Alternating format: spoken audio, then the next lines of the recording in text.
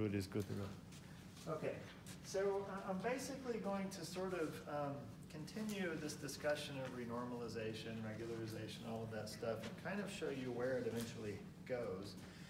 And I know that to start with, there might be a little bit of like, oh, that's weird, you know, the electric charge isn't constant. You know, what the electric charge is depends on the momentum with which you're probing it or whatever, but um, uh, where we will eventually take it, though, is going to be a little bit more intuitive in a sense. I'll give you plenty of examples of this intuitive uh, thing. Um, but anyway, um, so just a very quick uh, reminder. First of all, um, if we if we are looking at a scattering process of an electron and a muon, um, then we can you know do all of these diagrams and in all of them, when we're calculating the contributions to M, we would use the fundamental value of the electric charge or the electric coupling, okay?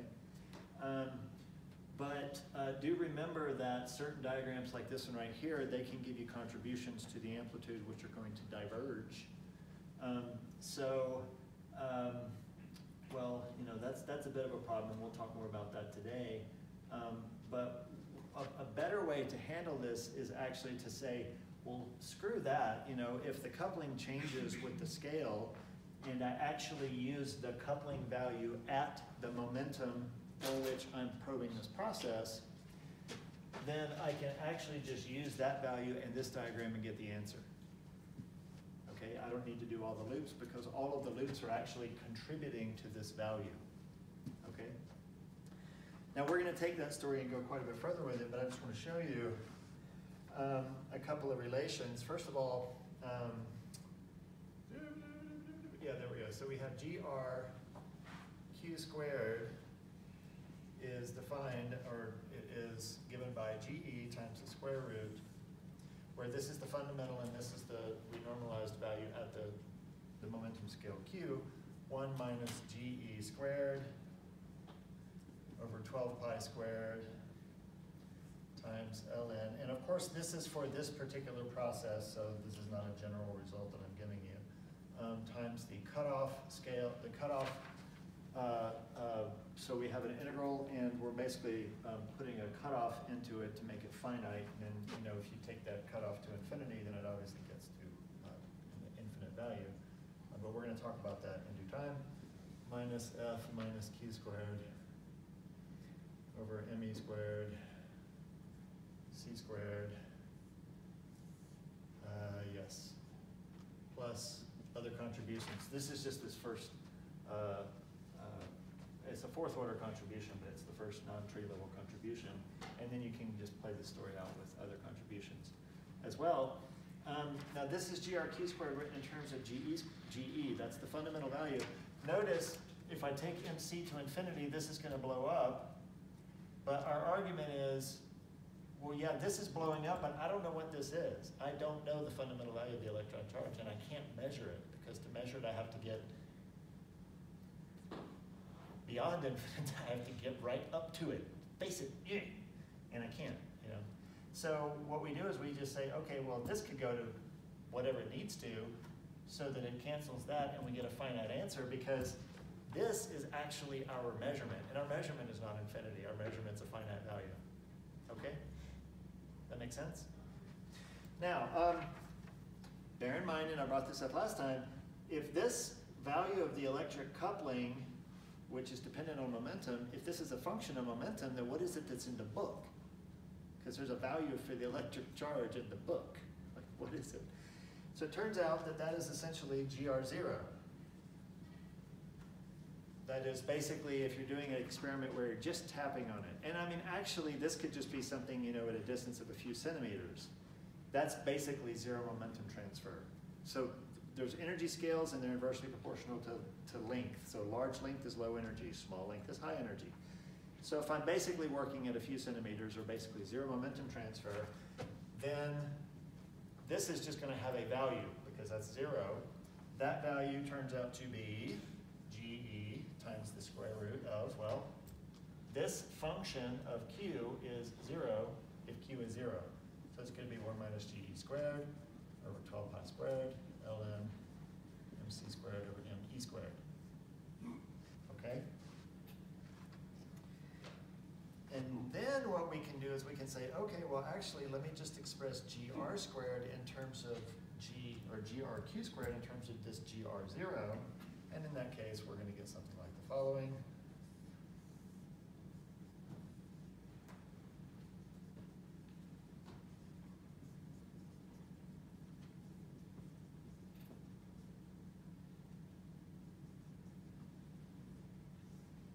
Okay? Now, and I, I, don't, don't worry about this. Um, this is not something that we're gonna work with, but just what I wanna point out is the following. If we're doing this calculation and we use this, or sorry, we try and do it in terms of GE, then we're gonna get this explosive term, okay, it goes to infinity. And we're gonna use our, just, basically, we shouldn't do that. We should not do the calculation and assume that this value GE is the one that we measure, because it's not. So what we can do is, or sorry, I, I- I don't actually have this up here. Um, I can just say GE, that's the value, okay? So what we can do is we can actually use um, this value. And again, if you use this value, then the, the entire answer is given by that one diagram, okay? However, you have to know the value of the coupling that you're, at the scale you're measuring. So what we'll often do is we'll say, okay, no, I'm gonna look it up in a book, and that's this, this value. And then I can do my calculation at non-zero Q using this expressed in terms of this, okay? However, if I'm gonna use this value, I'm gonna get all of these diagrams. Okay, it's only if I'm using the GR, sorry, if I'm using this value. If I'm using GRQ squared, then I can use this. If I'm using GR0, then I'm gonna have all of these diagrams. However, there's one big difference. If I use GR0, the contributions will not diverge. Okay, so my point just is, if you're trying to do your calculation with this, you're gonna get these infinities. If you wanna use this, you don't get infinities, and you just use that. If you use this, you don't get infinities, but you have to do all the diagrams. You don't have to do them all, the first few are gonna be the main contributors, okay? So, um, I just, I just wanna point out, you know, it's, it's not a simple like, oh, the electric charge is this, put that into the calculation and you're done. No, this is this whole running idea, and we're, it's gonna play out in due time. Um,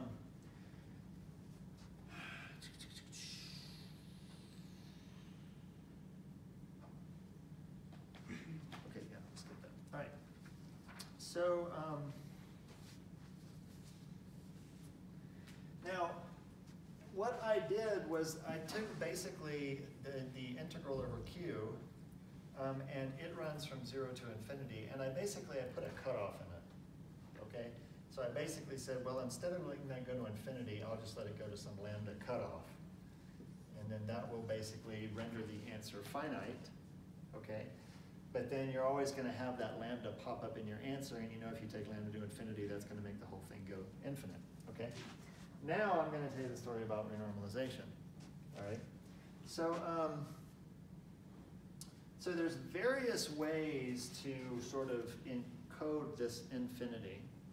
One is just to put a cutoff on the momentum. Another one is called the Pauli-Villars method.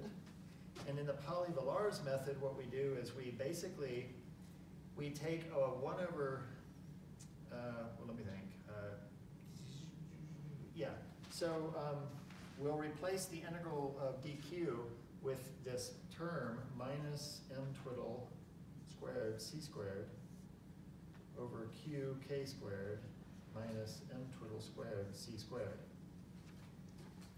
Okay? And what this is going to do, so this is actually something which, and the limit that m goes to infinity is just 1. Okay? But if I put this in, what it does is it increases the power of q in the denominator. And that can take these divergent integrals and render them finite. Okay? So this is yet another option for what we call regularization. That is, we're just going to take this divergent thing and we want to put something in it, which is, which is going to make it finite. Here it's a cutoff, here it's this mass term, okay? And then we can kind of see what's finite, and what's gonna go to infinity if we restore whatever our infinite limit is. There's yet another one, which is called dimensional regularization. And that is we let d go to d plus epsilon, d is the dimension of our space-time. Okay? So it turns out that if you take many of these processes, which are formulated in three plus one dimensions, and you instead formulate them in three plus one plus epsilon, where epsilon is just a small number, if you change the number of dimensions in the space-time, you can render these things finite. And then the limit epsilon goes to zero restores the infinities. So these are, it's just a myriad of different ways of addressing the infinities that are arising, okay? All of these are called regularization. Now here's the important part, and you, sorry, you can apply regularization to any infinite result. That's not the important part of the story. Here's the important part of the story, okay? If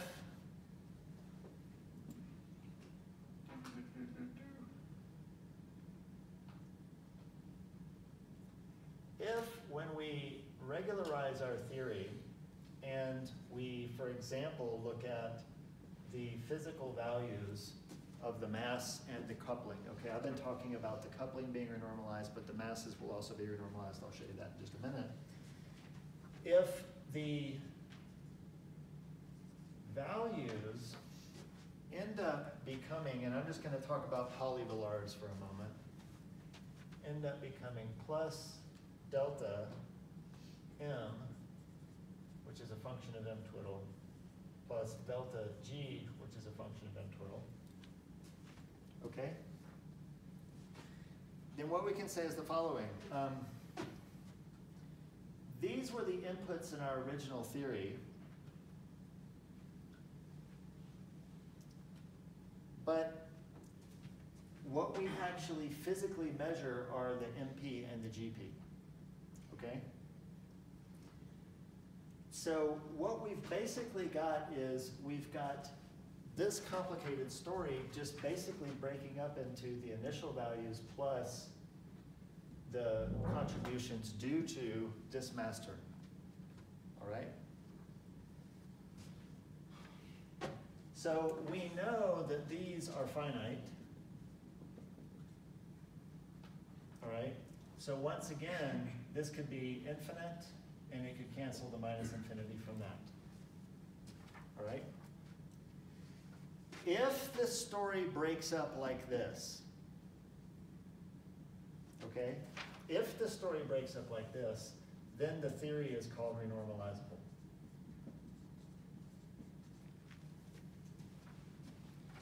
You're not guaranteed that if you regularize a theory that the result is going to take this form.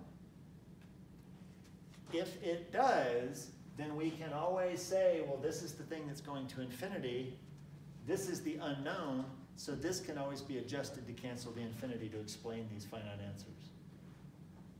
Okay?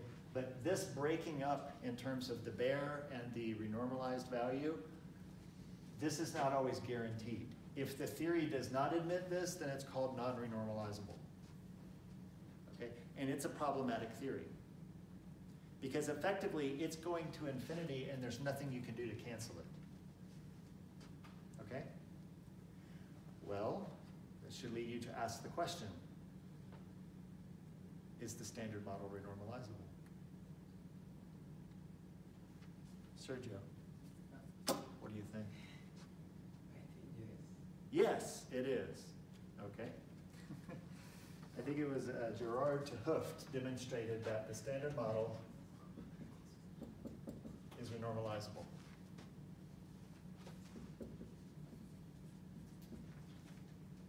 Jet, what's not? Uh, quantum field theory? No, This standard model is quantum field theory. I don't think it, uh. It's just, it's quantum field theory based on the symmetry groups SU3 plus SU2 plus U1 with the matter of the standard model, all that stuff. What do you think is not renormalizable? What do you think has these infinities that we can't get rid of? Non-gravity. actually. It is gravity. Exactly, quantum gravity is not renormalizable. Okay? So, you've probably heard, you know, when you quantize gravity, ship breaks. This is exactly what we mean. Quantum gravity is giving rise to these infinities that you just, you, you can't, you can't get rid of in the same way. So the thing is, there's infinities that are popping up all over quantum field theory. However, we've given them a nice explanation. We've just realized we're using fundamental values that we don't actually know, and we can't know. So we should really just work with these, which are finite, and you just have an infinity canceling an infinity, okay? However, with quantum gravity, that is not the case. So quantum gravity is broken, and gravity is fine, but quantum gravity is broken, so we're gonna have to fix it, and we're gonna get there towards the end of this lecture, okay? But for now, it just looks broken. Okay? So, um, all right. Well, let me let me flash up a technical uh, feature, which is just it's just an anecdote, but I want to just be really quick with it. Um, you might wonder, is this the only fourth order diagram? And the answer is no. There's actually several other diagrams that have four interaction vertices. Okay, and those happen to be.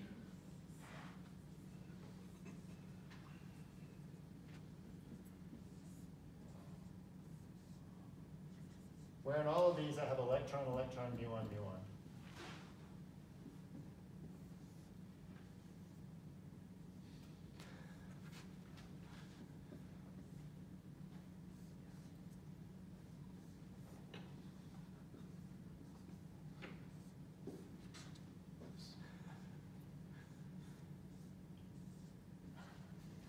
Okay? So those are the additional fourth order diagrams here. I could put the things down here, but that's not gonna play an important role, okay? Just, let me count them. There's one, two, four, there's one, two, three, four vertices on all of them. It's all Q, it's all QED, by the way. There's no strong interactions, weak interactions in this story. Um, and it turns out that these two um, are basically electron self-energy corrections. That is, they're basically just, I have an electron moving along and it emits and absorbs a photon. That's what's happening here. It's not really important that it's going to be colliding with this muon and bouncing off and all that shit. This is just the electrons moving and this is, these are what are called self-energy corrections. And then this is what is called the vertex or the magnetic moment correction, which is a vertex correction, if you will, because if you think about it, this is basically taking that vertex and replacing it with this triangular vertex. Go ahead. In the last one, is it the same photon that it's absorbing and, or emitting? Sorry, in the, in this one? No, sorry, in the previous one. Is it the same photon that's, that it's emitting and then reabsorbing? Yeah. Yeah. I mean, this is a diagram that's allowed. I mean, this is the vertex. The same particle goes in, the same particle goes out, same, it- it's an allowed, it's an allowed thing, okay? Now, um, now, these, it turns out, are finite. So they don't play a role in renormalization. Finite diagrams are not gonna play a role in renormalization. These, though, are gonna play a role in renormalization. Okay? They are all going to play a role, these three are all going to play a role in the electron charge renormalization. Okay? That's GE. But here's the important observation. These contributions, which are going to cause the electron charge to renormalize to different values depending on the Q scale, they're gonna depend on the mass of the electron. Uh, Just, just take my word for it. They're gonna depend on the mass of the electron. Now, here's the important observation.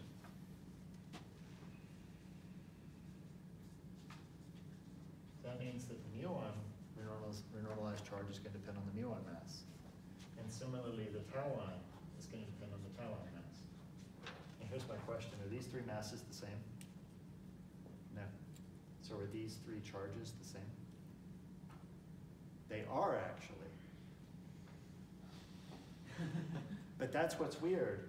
Look, the electron, the muon, and the tauon all have the same charge. If you're, if you're doing an experiment at zero momentum, they all have the same charge. If you're doing the experiment at the same momentum, they're all gonna have the same value. But they all have different masses. Can anybody guess what the hell was happening? Hannah? Well, let me just ask you this. These contributions are going to depend on these masses. So they're going to be a function of the mass squared. Okay, and I, I guess I should put, there's three of them.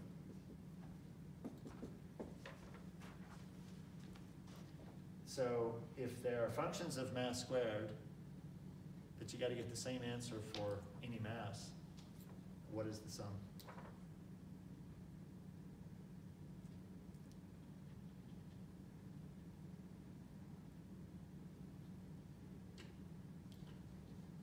What function of masses won't change if you change the mass? Will this change, will this change? Yes, that will. Okay, what about that? What about that? Yeah, these three diagrams actually cancel each other out.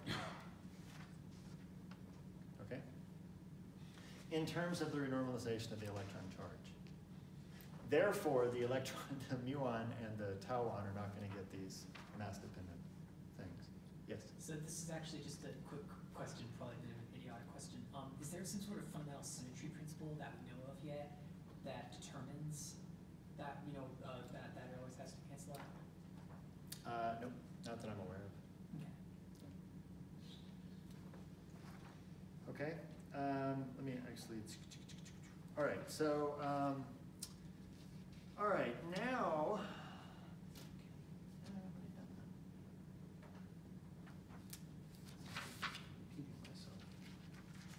Okay. Now, yeah, Um, that I, uh, that would be the index of the mass. Th- oh, no, well, no, no, sorry, no, this is an index over which diagram? Three diagrams, yeah. And I'm just saying if I add all three contributions together, I'm gonna get zero, they're gonna cancel. Any one of them will depend on the mass, and it'll be different for electrons, muons, tauons. But the fact that all three of them add, add to zero makes the result independent of the mass, okay? So then, if you did the same summation, but it was G mu, it would still be zero? Right, right, yeah. Yeah. So our renormalization story is playing out with two particles coming in, two coming out. Could we also make this story play out with just one particle in, one particle out, and all the self-interactions that can happen? Sure, sure. Yeah, that's the self-energy corrections. Okay. All right, so now we're gonna make this a little bit more intuitive in due time. I'm probably gonna regret having erased what I just erased, but anyway. Um, but let me say a bit more about renormalization. And then we will sort of shift our attention to something which is a little more, potentially more familiar. Okay, um, so, first of all, uh, notice if we, if we're doing this, then we get the, and now I'm gonna switch back to alpha instead of GE, but it's, it's no different. Um, if I'm taking this diagram into account, so if I'm just going to fourth order, then what I find is that alpha uh, is alpha zero, one plus alpha zero over three pi ln q squared over me squared c squared. Okay. And, um, it, and this is interesting, it turns out that, um, to all orders, this thing actually ends up being a geometric sequence, okay? So this is the first order correction, but then I can do the next order correction, you know, I can do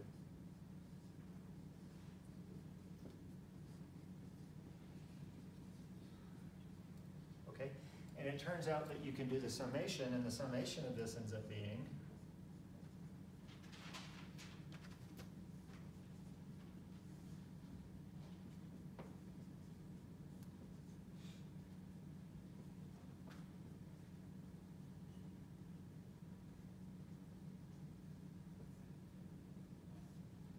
Okay.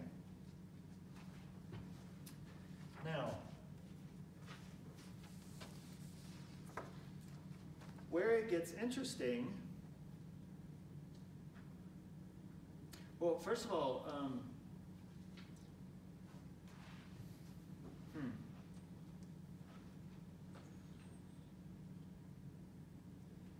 First of all, if Q increases, and here I've got Q squared is much larger than ME squared, C squared. If Q squared increases, what happens to this coupling?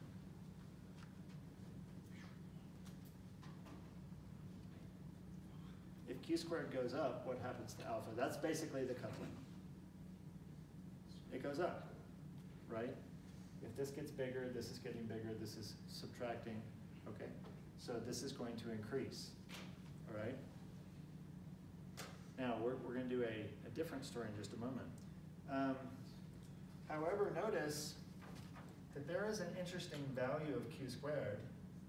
If I take ln q squared over me squared c squared, and I set that equal to three pi over alpha zero, where alpha zero is once again the coupling that we measure at zero momentum, it's the one that's in books, okay? What happens to this coupling? It blows up to infinity. Okay? So we should really ask what value of Q does this correspond to?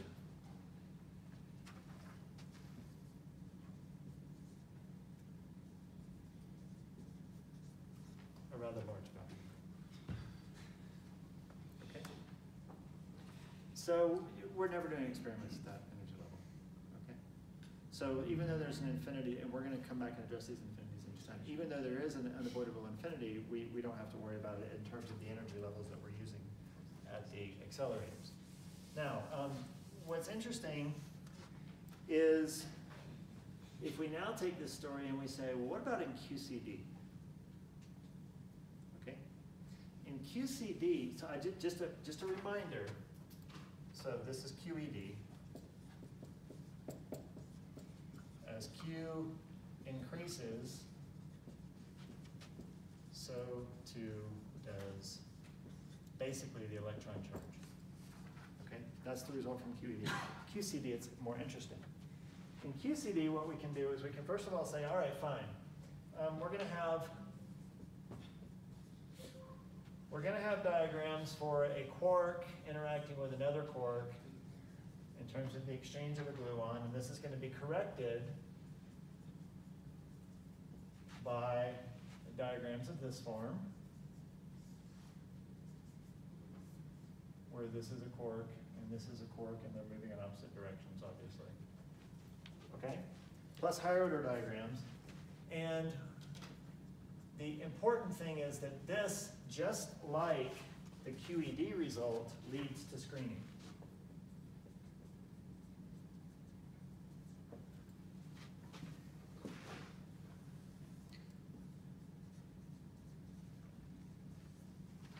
Okay, and just, just in order for you to appreciate that this means you're screening, I don't know if you remember, but when I did that classical fairy tale and I drew the, the dipole, you know, the dipole uh, stuff, and had the charge in there, we noticed that if we went, if we went in with higher energy and got closer, the charge actually increased. That's what we call screening, okay?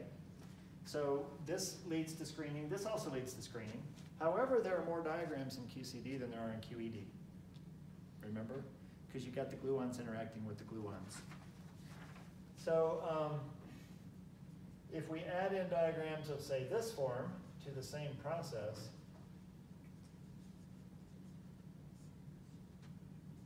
uh, and this one, and this one.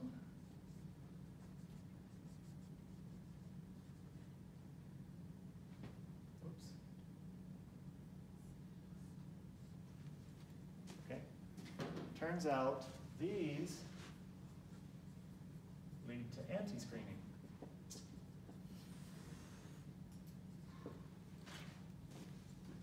So if you have anti-screening only, don't worry about the screening right now, if you have only anti-screening, then if Q gets larger, then the charge gets swollen. It's the opposite of this result. Okay? So for QCD, we have screening and anti-screening. Of course, all of these diagrams are part of the expansion of this process. So the question is, which wins? In the end, does it screen or does it anti-screen? Because in the end, you can't actually say, well, this is the one that was happening, therefore it was anti-screening. No, that's not the way this works. You do all of these diagrams, and you take the sum, and it gives you the answer for physically what you would observe. You don't observe particular virtual phenomena. It's just the sum over everything, okay? So right now, we've got to figure out which is going to win, screening or anti-screening, okay? So to figure out which is winning, basically, we're not going to do the calculation because doing this for QCD is horrendous because we've got to add in Faddeev-Popov ghosts and all this other stuff. But what I'm just going to say is that the strong coupling at Q squared is the strong coupling at what I'm going to call mu squared, where mu is a reference scale.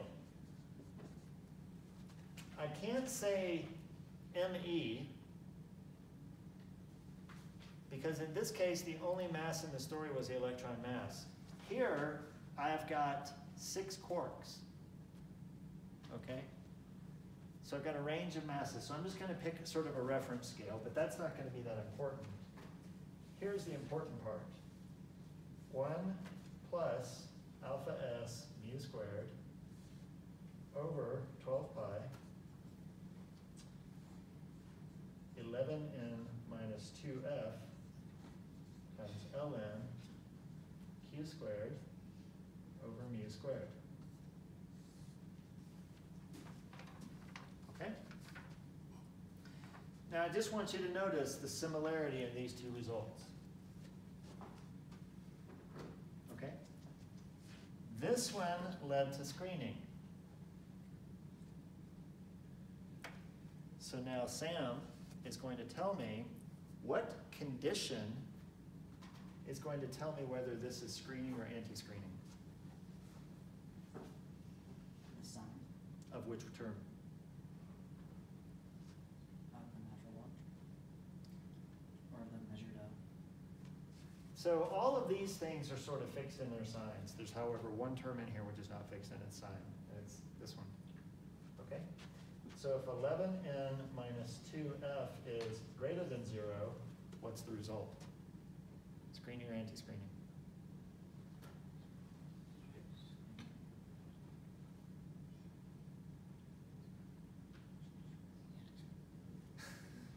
Well, if this is positive, then that's a plus, and it's just plus plus. However, here it's negative. So for screening, it's negative. If this is positive, then this is anti-screening.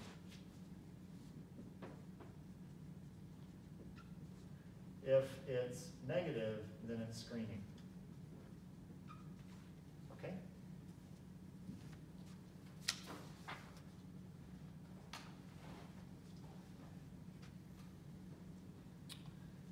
Um, hmm. What are N and F? Sorry, say it again? What are N and F? Well, that's what I'm about to tell you. Sorry, that's what I'm about to tell you. So, um, F is the number of flavors of quark. Okay, that's basically the number of different quarks by name. Okay? N is the number of colors. We're doing this in general. We're saying we're gonna have F number of quarks and N as the SUN gauge symmetry. Okay?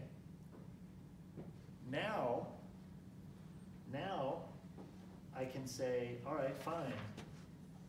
F is six, and N is three. In the standard model, there are six quarks, up, down, strange stern, top, bottom, and there are N equals three colors. Well, is that screening or anti-screening? That would be anti-screening. It's anti-screening, okay? Now, this is interesting, because what this says is, as I get, is if I probe quarks at a smaller and smaller scale, that is at a higher and higher energy, the quark charge actually goes to zero. That means that only at really, really high energies is the quark coupling less than one, which means we can use perturbation theory. This is called the asymptotic freedom of quarks. And what's really interesting is quarks are always meant to be found in these bound states of hadrons. They're either mesons or baryons, pairs or triplets, okay? They're very, very close together. The quarks are super close together.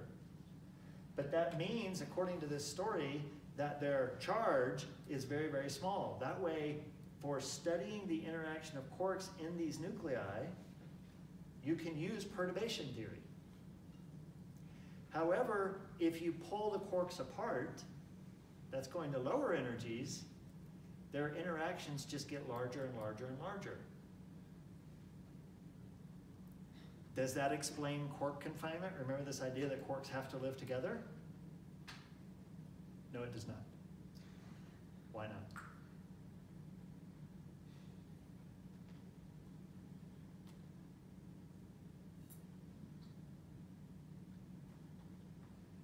It's because this entire story is based on perturbation theory. This entire story only applies when the coupling is less than one. What I just learned is if I pull quarks apart, the coupling gets large. Therefore, I can't use perturbation theory anymore. It's suggestive, but it's not a proof of the confinement. Like I said, if you've got a proof of the confinement, just pack your bags. We'll go and get your Nobel Prize. Okay? All right? So it's interesting because it turns out if I apply this to the weak interactions, the weak interactions are also screened. So QED and the weak interactions are screened, but the QCD interaction is actually anti-screened. The higher energy you probe something with, the less it's going to interact. Yes? So for the alpha S of zero, is that still like the charge of quark that we know? So that's, that's kind of the weird thing, right? You can't really measure the charge of a quark. Yeah, I know. You can't do that. You gotta infer from, from other measurements. Okay? All right, so, um, what I wanna do now is, um, oh, and I guess I should say, uh, there is an interesting, uh, avenue that theorists like to explore, which is the idea of pure QCD. And pure QCD is basically taking F to zero, that is removing all the matter and just keeping the quarks. I mean, sorry, the gluons. Okay? And what's interesting about that idea is that it's actually a finite theory. There are no infinities, so you don't have to do any of this renormalization. You don't have to? Okay, so now what we're gonna do is we're gonna make this idea a little bit more intuitive through what are often called effective field theories. Okay? And um, so I'm going to give you several examples of this. Uh, and it's going to make use of this idea of renormalization, but we're not really going to do any calculations with it. I'm just going to kind of tell you a story. But anyway, okay, so effective field theories are in some sense what I just wrote down when I said, you know, I can take all of these diagrams and replace them by this one. Okay, if I'm willing to use GRQ squared. Okay. This is an effective field theory using this as my coupling and it's much simpler to work with. Okay, but now I just kind of want to go over some more concrete examples of this. So it turns out that before we ever even knew about QCD, well before we knew about QCD, there was an offering for an explanation of the decay of a neutron. And this was due to Fermi. And what he had in mind was that the decay of a neutron occurred through a four-point interaction vertex, like this, where coming out we had the antineutrino, the anti-electron neutrino, the electron, and the proton. Okay? So Fermi proposed that there was this interaction vertex, all right? And this is obviously not a part of anything that we've done for the standard model. Okay? This, this is not a part of the story at all, period. These are all matter particles. There's no gauge boson mediating the interactions. But he, but this was before we understood all that. So Fermi proposed this as, um,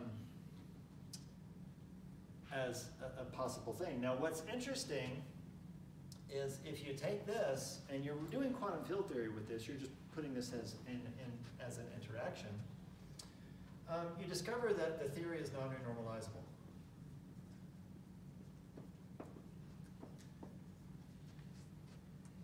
Okay? Remember I said the standard model is renormalizable. So if we had done everything correctly, it would be renormalizable. But this version of it is non-renormalizable. Now, um, well, remember, non-renormalizable is really only a problem if you're taking things to infinity. Because, you know, you get, you, you have it depending on these certain parameters, and if you take this like the Q, the, the Q momentum, if the Q momentum goes to infinity, then this thing is gonna blow up. Um, that's re- non-renormalizable, all right? Um, so, but we, we can kind of understand why this is happening through the following correct diagram. So remember, the way this actually works is something like the following. Have up, up, down, which is of course the neutron, and that's going to become an up, up, up, which is the proton. And this is going to occur by the emission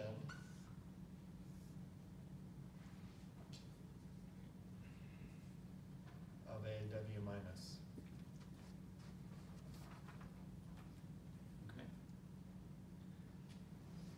So in addition to the fact that these neutrons and protons get broken down into quarks, we don't really need to focus on that. What we really need to focus on is that there's a, a mediator. Yes, Sam? Uh, shouldn't it be a down quark in the proton? No. Up, up, up. Okay. So, um, no, actually, you might be right. You might be right. I might have it wrong. S- Ross? Proton up, up, up, or up? It's Up. up, up, down. It is up, up. So this is up, down, down. No, hold on. Yeah, that's, yeah, that's right. It's. Yeah, yeah, that's right. Because down, down quarks have charge of negative one third, up quark is Yeah, plus two thirds. Yeah, I don't know why I wrote it in my notes wrong, but it doesn't matter. Okay, um, at any rate, there's just one quark that's, that's undergoing this. But at any rate, um, well, first of all, notice, th- th- this, this is basically this diagram. I've just moved the P back over here. But this, you know, if you just step back and you squinted, this is a P, an N, an E, and an electron neutrino, which is the same thing as here, except this is being blown up with this exchange of a gauge boson, okay? So um, we can calculate things in each of these cases. So here we can say um, this is U bar N gamma mu, one minus gamma five. Um, nope, sorry. I don't do that, I want to do this. I want to say this is u bar n gamma mu, one minus gamma five, u uh, proton, minus i eta mu nu, minus q mu, q nu over mw squared c squared over q squared minus mw squared c squared times v bar neutrino gamma nu, one minus gamma five, u for the electron. Okay?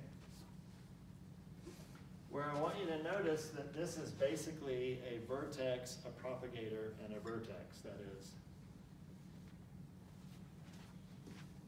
That. Okay? So this is just the basic con- contribution to n that we would expect from this diagram. It's a weak interaction, so we don't have to mess with colors and QCD and all that, okay? Now, um, if we take momentum to be much smaller than the mass of the weak boson times c, which is pretty easy because this thing is hella large. So if you're doing experiments at low energy, there's a good chance the momentum transferred is much less than this. This is a hell of a lot. Okay? Then this simplifies.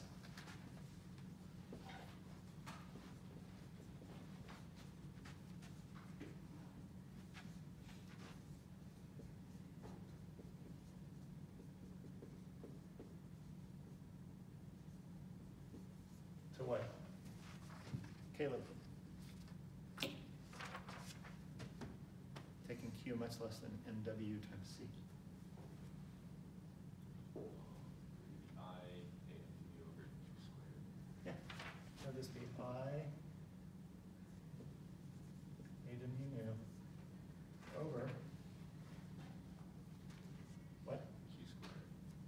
Q is much less than no, this. so that'd be m, or n w squared c squared. Yeah.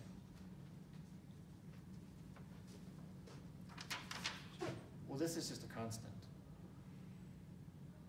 This is not really playing a role. So it turns out that this is describing what we might call a vertex-vertex interaction. Okay? So what we've just discovered is that Fermi's proposal is actually accurate as long as the experimental scale is much, much smaller than this MW. Which is, I mean, back in the day of Fermi, that was pretty much the norm, okay? As we built accelerators at higher and higher energies, eventually we eclipsed this value, and this result no longer gave us the correct prediction. Okay? But that's fine, because we eventually developed this idea, had this as our contribution, and this gives us the correct answer. Okay? So, what you can say is, this is the correct field theory. This is the weak interactions with the standard model and all this garbage. Gauge boson mediated forces and all that stuff. However, if I'm going to take that story and I just want to play it out at small energies, it turns out we can replace this by this simpler story. This is an effective field theory. It gives you the answers in a certain range. Okay? Outside of that range, it doesn't give you the correct answers. Does this make sense? Okay, so I'll give you some other effective field theories. Um, turns out we've actually sort of happened upon this when we were talking about this strong interactions. So,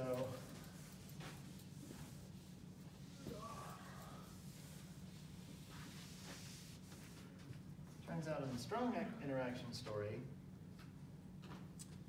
um, what ends up being interesting simplified picture is that if I bring in a neutron or a proton, then I can do- generate an interaction vertex with a pi naught. Okay? Or, if I want to bring in a neutron or a proton and have come out a proton or a neutron, I can do it with pi plus or minus. This is converting protons into neutrons, so vice versa, okay? Now, um, this is an interesting idea. This means that, um, we've got, you know, three gauge bosons. These are acting like gauge bosons. There are three of them. One's neutral, the other two are charged. These are actually not, so I just want to point out, these are actually not gauge bosons, these are particles. This is a particle, this is a particle, this is a particle. These are all particles. Just like in the Fermi case, these were all particles. There were no gauge bosons. However, if you look at that and you squint your eyes, it kind of looks like Q. Q what? It's actually the weak interaction. it's the one that doesn't have a Q. This looks kind of like this. Okay? Well, what's the symmetry underlying this? This is the weak interactions. U. Two. SU2 has three generators. so I could maybe write this as an SU2 gauge theory. Okay? Where the SU2 acts on these doublets of neutrons and protons. Okay? So what I'm saying is the pi 0, the pi plus minus, those are the generators of this SU2. And they're two by two matrices, so they have to act on a doublet. And what they're acting on are the neutrons and the protons. Is this the standard model? No. I mean, what, what force are we talking about? We're talking about QCD, the strong interactions. That's an SU3 gauge. and it doesn't have neutrons and protons in it. Okay? In fact, what does this story look like in the standard model? Well, we I showed you. it's I'm not even going to draw it.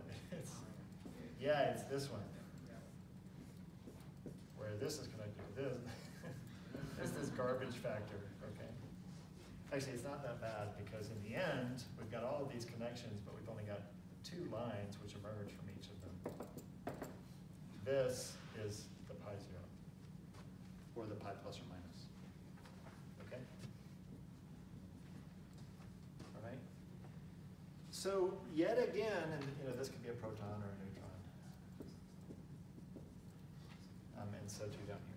So all I want you to see is that this is the super complicated fundamental theory. This is QCD with eight gluons, three different colors of quarks, okay? This is a hell of a lot simpler. All right? When do you think you can use this? Say it again? Yes. Okay, so, um, so I just, I, you know, I just want to show you how these effective field theories can crop up in various instances. Um, now, what, what, what does all this mean? You know, I kept telling you I'd give you an intuitive approach, and the intuitive approach was actually born in the 70s due to a guy named Kenneth Wilson.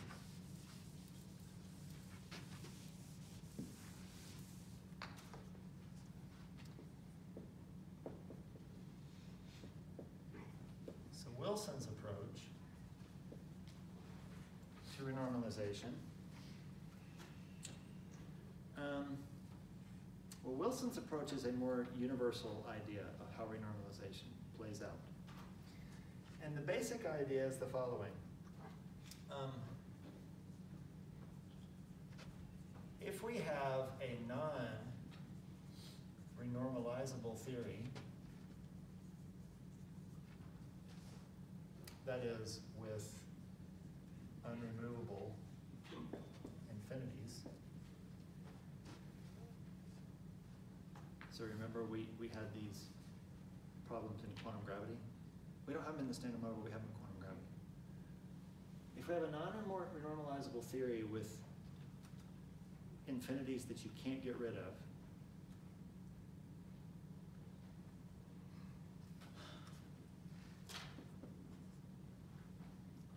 it's really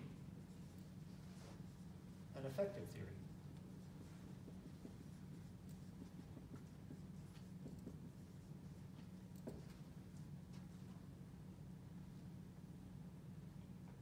I mean, after all, it turns out that if you take that Fermi, that Fermi story, and you take it to high energies, you get infinities that won't go away. But that's what you expect because this is not good to higher and higher energies. Eventually, you're responsible for that. Okay? So maybe it's the case that if a theory is non-renormalizable, it, it, it's good up to a certain level, and then it should be replaced by something which is more, which is actually, it should be replaced by something which is either renormalizable. Okay, that's what we do when we go from the Fermi four-point interaction to the exchange. This is non-renormalizable, this is renormalizable. Okay? But better still, maybe if something is non-renormalizable and you take it up to a certain scale and it gets replaced by something else, maybe that something else is actually finite. Maybe there are no infinities in the story at all. That's, that's awesome. Because you don't have this fiddling around with like, well, you know, it, it's got infinities, but that's because everything's defined in terms of this fundamental thing, and we don't actually know the value, so we're just going to infinity to cancel infinity, which makes sense, but it's still kind of like, "Ah, what, what?"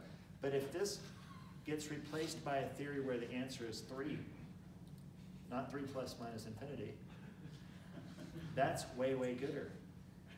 Okay? Now, um, turning this around, and so, so by the way, when we, when we do something like this, what we call this is the UV completion of the theory. That is, we're working with an effective field theory. It's only useful up to a certain energy scale.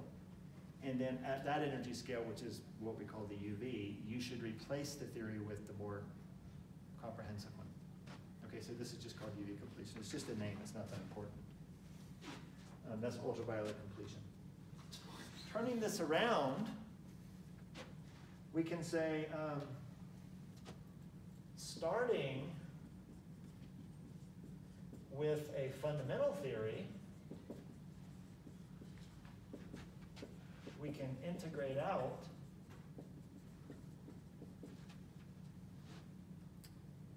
high energy or higher energy degrees of freedom to get effective field theories.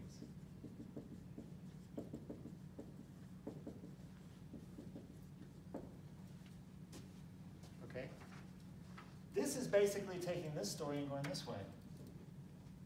This is saying, yeah, this is our fundamental description. But if we're going to restrict ourselves to the case where the momentum is small compared to that big ass exchange particle, then we can basically integrate that out. Now, integrate out is, is not just simply just integrating it out, but it's, it's basically removing it. And we get this effective description. Okay?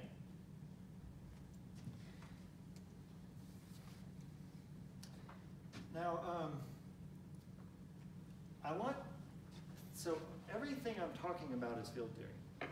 I want you to be aware, though, that this scheme and this approach due to Wilson is so broad that it applies, you know, outside of field theory to field theory, effective theories.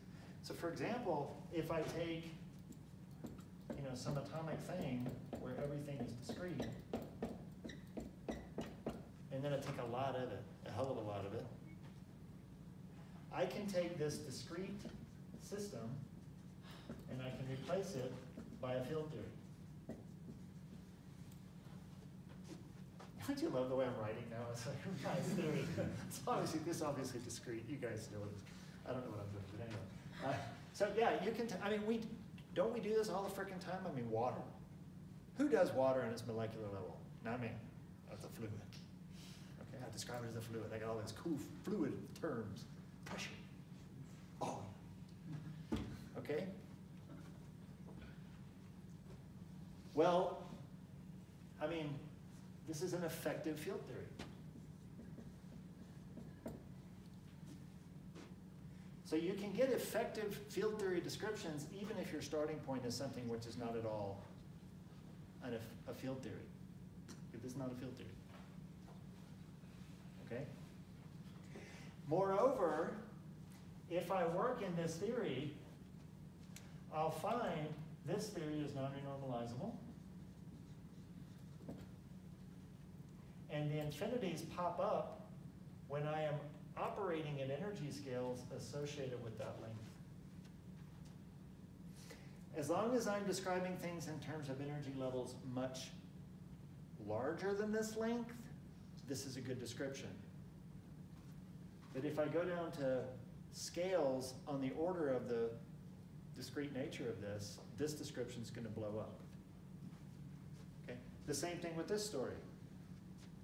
This works as long as you're using your energy levels smaller than the mass of this particle. Okay? That makes sense? All right.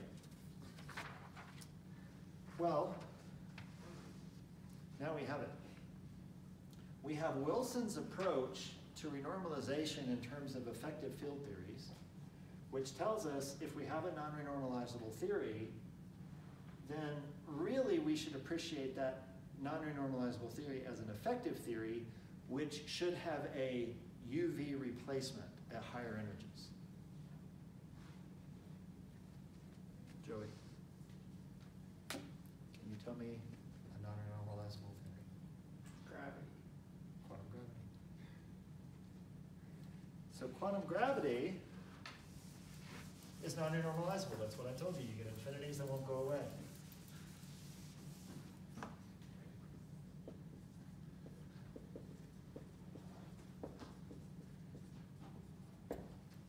Okay?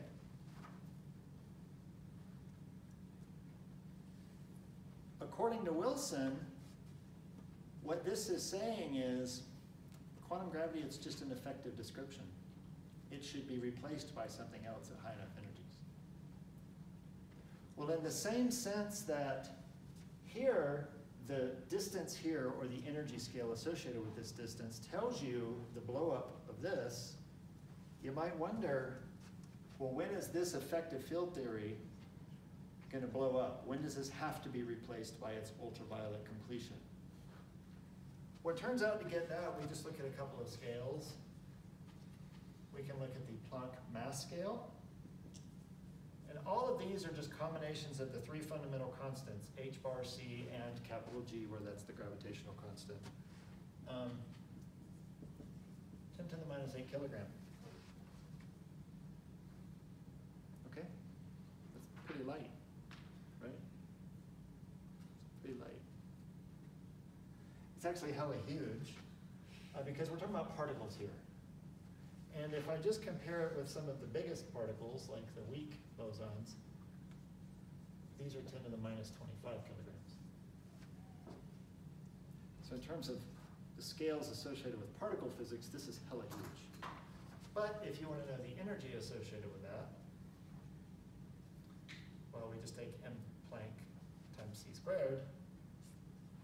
Going to be 10 to the 19 GeV.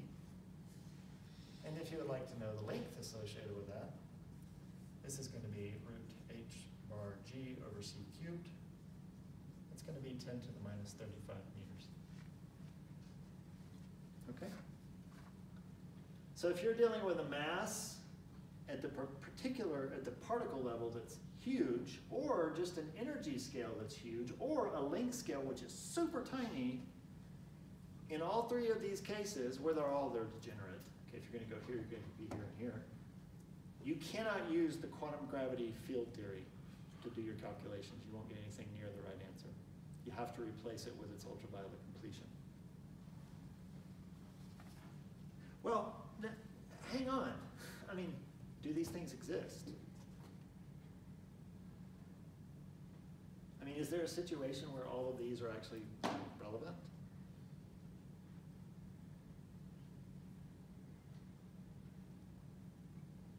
I can think of two.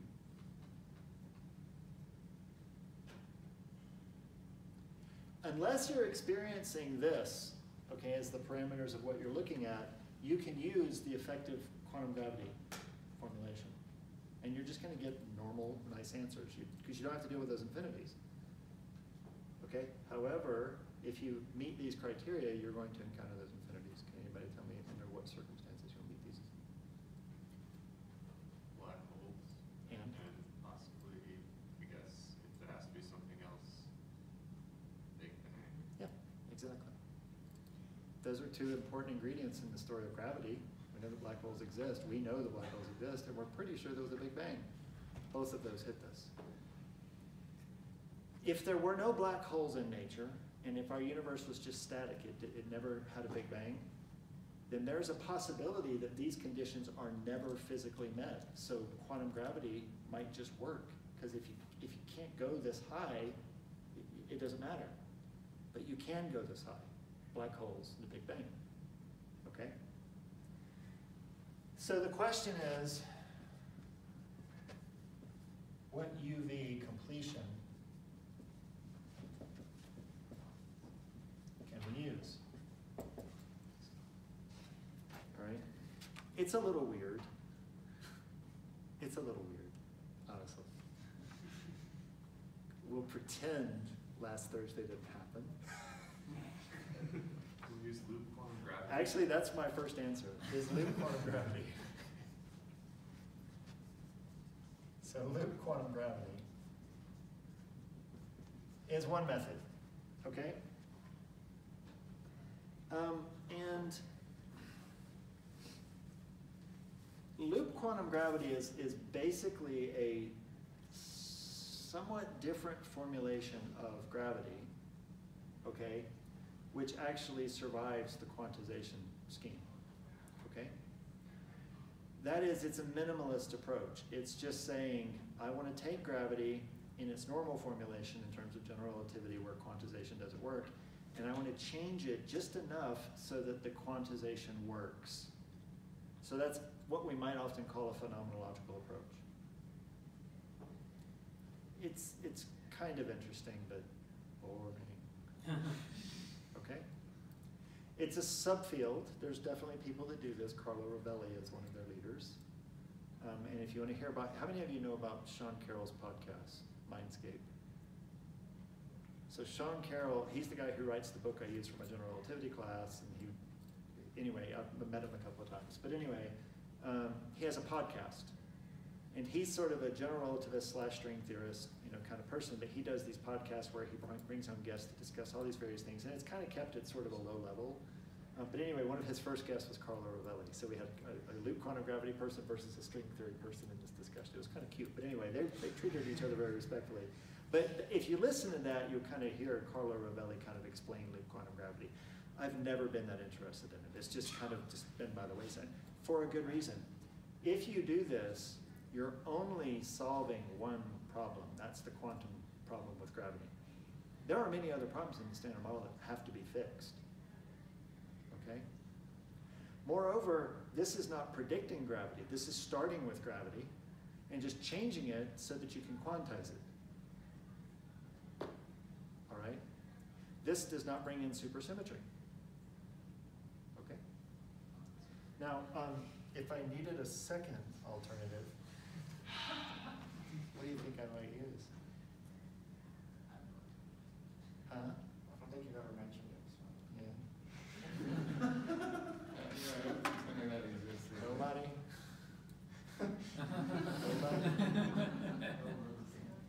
Rubber band theory? Oh, look, Drew is on top, Drew. What is it? String theory. String theory, string theory. String theory, okay? Now, I, I actually have these notes written up as if I did not give you a lecture on string theory. I'll just, I'll just finish with a couple of comments. Um, and this was actually the, the last point that I did not get to make in our string theory lecture because we were kind of running out of time. Remember when I said that if you take an effective field theory and you give it its UV completion, the effective field theory is non-renormalizable. Okay? However, the ultraviolet completion could be renormalizable or it could just be finite. String theory is finite.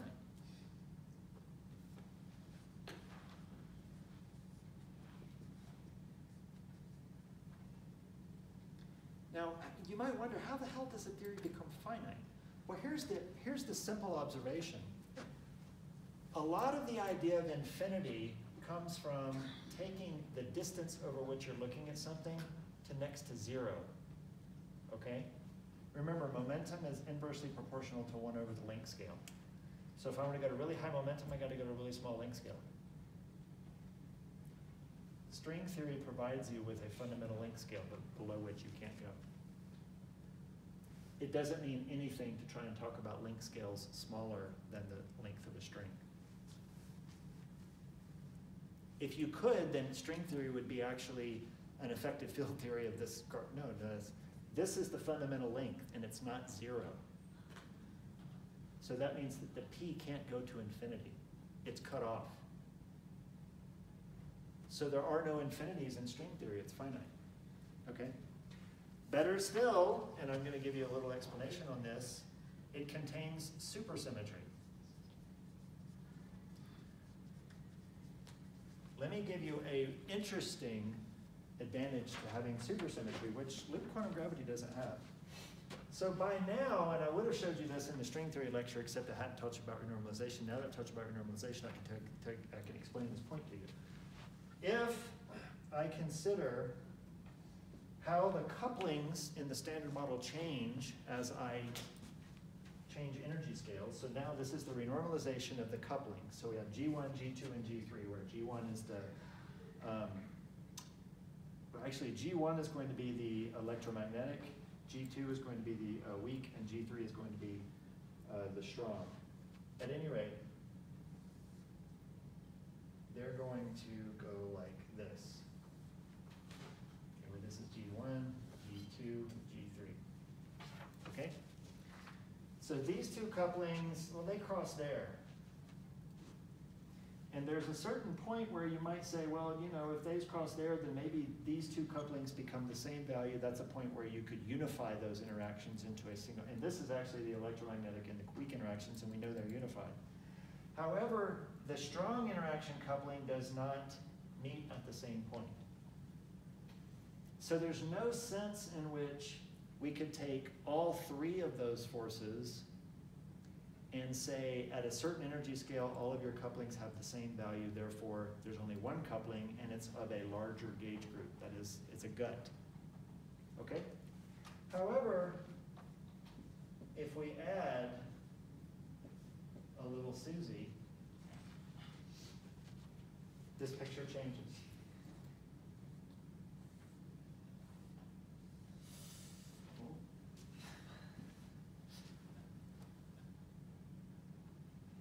If you add supersymmetry to the theory, it's obviously going to impact the way that things flow under renormalization because you get more diagrams, you've got more particles, you've got superpartners, but don't worry about the details of that.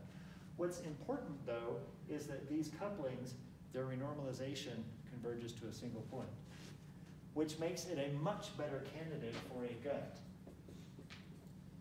That is SU3 cross SU2 left cross U1 hypercharge could be realized in terms of maybe an SO10 or an SU5. That is, these are all going to unify into a single gauge group which only has one coupling. If these are all coming from this, this only has one coupling. The fact that we have three different couplings is just the breaking of this symmetry down into these subgroups. So the fact that string theory has supersymmetry, well, first of all, it provides us with this coupling unification. But then, does anybody know what kind of gauge groups we get out of string theory? Does anybody remember? SO thirty-two or E eight cross E eight. Groups with four hundred ninety-six generators. These are plenty large enough to give us the standard model groups. Okay? All right. That's the end. Well, I mean, I, it- yeah, I was gonna say that string theory is awesome, but I don't think I need to sell them. I did that last Thursday, so, um, but at any rate, so, so hopefully, I mean, I, I know I, I kind of gave up on doing calculations and just want to tell you a story, but this story is so broad in its application that if I only did calculations, you might think, well, that story only plays out in that. But no, it plays out in many, many different regimes, okay? And, you know, this, this Wilsonian approach to non or to renormalization in general is basically, I'll reiterate this. If you're working with an effective field theory and it has infini- infinities, what that's telling you is that your effective field theory is only valid up to a certain scale, and beyond that, it should be replaced by its ultraviolet completion. And it might be that, and honestly, this is the way it, it probably is, it might be that you replace it with another theory, and that theory is only good up to a certain energy, and then you have to replace it by another theory, okay? That's fine. All right. Any questions? Sorry, it's kind of like a down ending, but I would have ended with my string theory lecture, but you guys wanted that for E-Day, so I give it to you. Yes? Why is it called ultraviolet completion? Ultraviolet? R U. Uh, It's just, it's just on the high energy end. That's, that's just, it's not technically ultraviolet, but it's just the high energy end of the spectrum. Yeah. Uh, What about that twistor theory or torsion, this kind of stuff? Yeah, so I'm not, I'm not super familiar with twistors. Um, they were, so I will say this about string theory. This is something which I think I have not said and I should say. Um, one thing that is perhaps amazing about string, so first of all, like, like I told you, string theory is a closed set of ideas. You can't just throw arbitrary shit into string theory. You can't say, oh, let's do string theory in 48 dimensions. That's not allowed. Okay, let's add in some extra particles. Let's make these gauge groups are the only ones you can work with. You can break these down to smaller things, but you can't put in bigger gauge groups, okay? Twistors actually come out of string theory.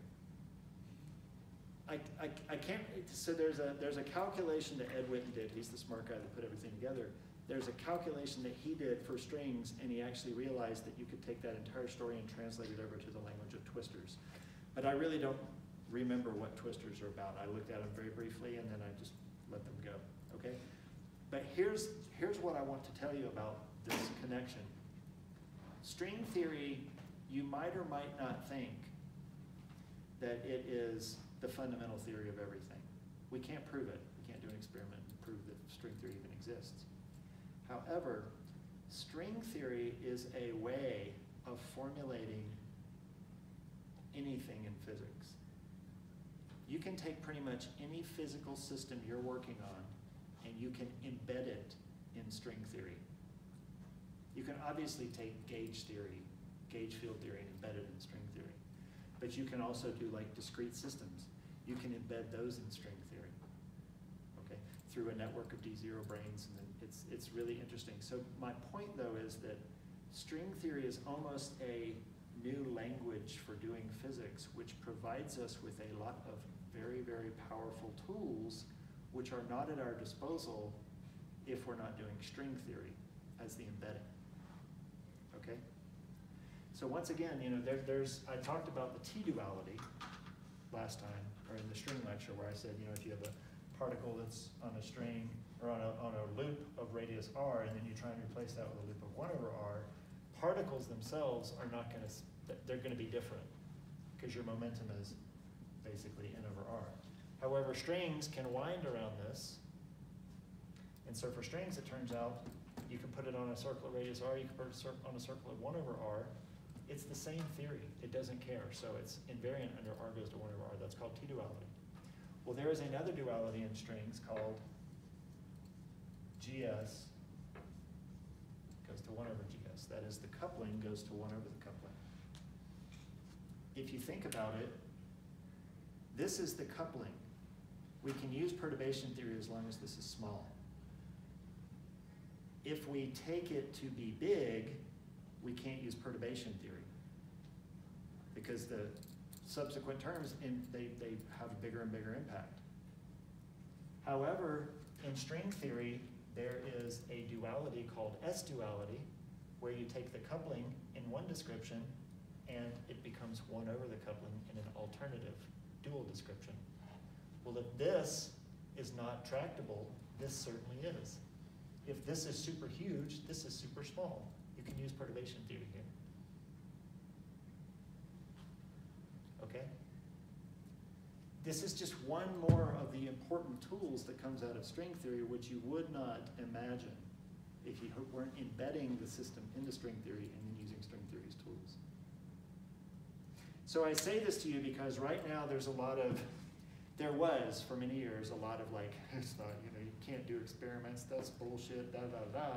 Now what people are finally opening up to is, okay, wait, this is just a new way to do physics. I can just, I can sit and work on a physics that's not quantum gravity or anything. I just talk about, you know, chemicals in a, you know, in, in a matrix or something like that. If I embed it in string theory, there are some calculations which I couldn't do, which I can now do trivially. Okay, so string theory is providing us with these tools. So for example, in string theory, and I won't, you know, go into detail about it, but one of the biggest discoveries was by Juan Maldacena, who I showed you in my slides. But the ADS CFT correspondence is basically, this is a conformal quantum field theory. It's, it's a quantum field theory, it happens to be conformal. This is gravity in anti-de Sitter space. And it turns out that this is an S-duality. So if this is strongly, if this is strongly coupled, this is weakly coupled. But this is doing pure gravity calculations versus quantum field theory calculations. But if you do one, you can map it to the answers of the other. This has been taken by storm because there's plenty of people that see the value in this, even though they don't like to think of string theory. This was born in string theory, okay? As have many other ideas. Yes? Uh, Does the string theory uh, explain, for example, dark matter, dark energy? It, it, it could, it could. So the, the problem is that you're talking about problems which are, so if we could take string theory and we could extract the standard model out of it, okay? Then, um, then we could say, okay, we got the standard model, we've got gravity, we need dark matter, and then you could probably find where in string theory the dark matter, the dark energy comes from. The problem is taking string theory and getting the standard model out of it. That's, it hasn't been done. Or rather, it's been done too many times to really know what the answer is. So unfortunately, at this point, we're not really under the, we're not really under the, string theory is providing us with a solution for dark energy, dark, it provides us with candidates, but we can't show that those candidates are the definitive answer at this point. Maybe in the future, but not right now. It's like, like there's a, there's the cosmological constant problem. This is the, the, the, the cosmological constant, its theorized value is hundred and twenty orders of magnitude larger than the actual value that we see. That's a huge fucking problem. Okay? It's one of the biggest in theoretical physics, okay? String theory provides you with scenarios that address that. They're called D-brane, or they're called brane worlds. So it's basically, and I, my first research paper was on this. If I am in five D, and these are four D D branes, whoops, four D. Okay? We live on one of these D branes. That's the one plus three dimensions that we live in. However, if I have another D brane over here, which is separated from me by like a few millimeters, then this D brane can explain why the cosmological constant is as small as it is, even though its predicted value should be much larger. But that's a prediction based on just quantum field theory. If I look at it in this context of string theory, then that resolves it. However, we can't say that string theory predicts this to happen. It's just a possibility in string theory. There's a, I mean, you know, predictions are, here's a set of parameters, predict what's gonna happen. String theory has a boatload of possibilities, and we haven't been able to narrow them down yet. Other questions? Uh, Oh, shoot, sorry. Uh, sorry I kept you so long, folks. Thank you so much for a great semester. I really enjoyed it. And, uh, once again, I will be